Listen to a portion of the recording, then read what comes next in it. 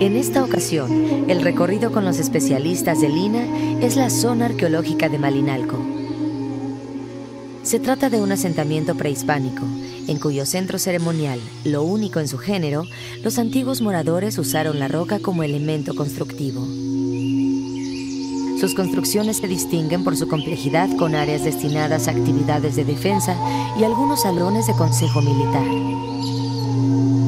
Ubicado en la ruta comercial por la que fluían los productos hacia la Gran Tenochtitlan, Malinalco está situado en un punto alto y visible. Su nombre náhuatl significa lugar donde abunda la hierba torcida o lugar de Malinalxochitl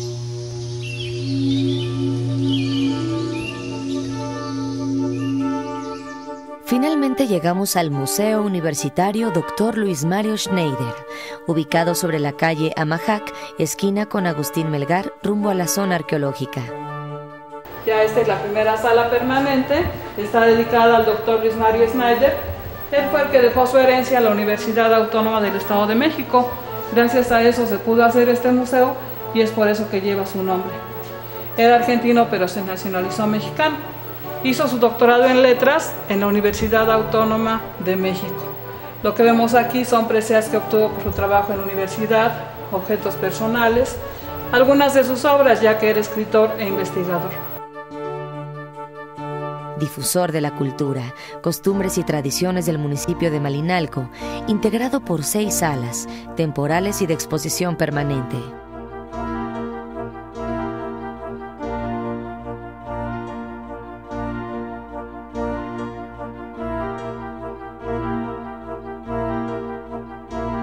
También están estas reproducciones de las pinturas rupestres que se encuentran aquí en la cabecera municipal y que son las más reconocidas. Las que vemos en rojo se conocen como los diablitos y se dice que representan una danza ritual a la fertilidad.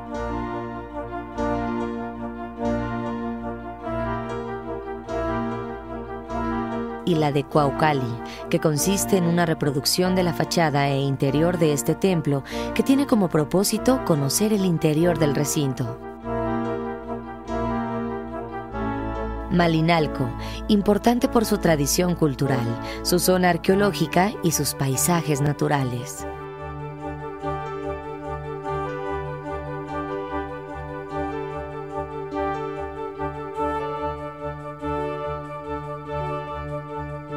Turismo Cultural INA, la aventura del conocimiento.